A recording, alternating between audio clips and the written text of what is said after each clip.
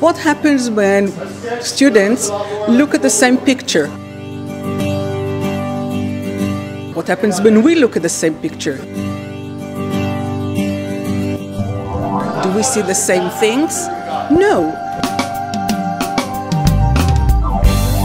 So, what we are working on is understanding that people look at the same thing but see different things. With the help of lecturers, facilitators connected to Harvard University in the States, they learn how to negotiate on um, life matters. In terms of negotiation, why is it helpful to find out what their underlying interests are? What we're trying to do and have done successfully for the second year now is to teach students the tools and the skills that they can use and apply in everyday life and also uh, use them to see and, and analyze conflicts around them that are usually not approachable and not so solvable.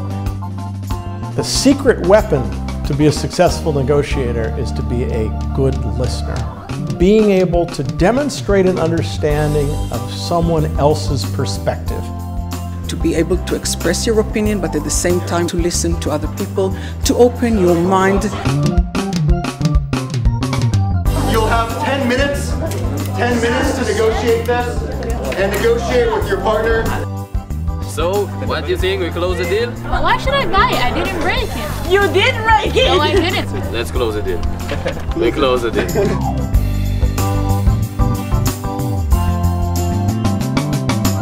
I understood that sometimes in negotiations it's not necessary to have someone who is a winner and someone who is a loser. I absolutely loved the lecture, it was amazing.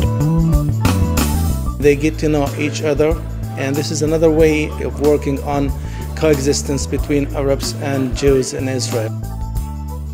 Arab schools and Jewish schools together come back with such positive impressions and feelings that expressing how applicable this is to their life now and to the world view altogether, giving them wonderful tools and building their skills to manage conflicts. It's a wonderful collaboration with Harvard Law School and the American Embassy in Tel Aviv who helped us sponsor this program.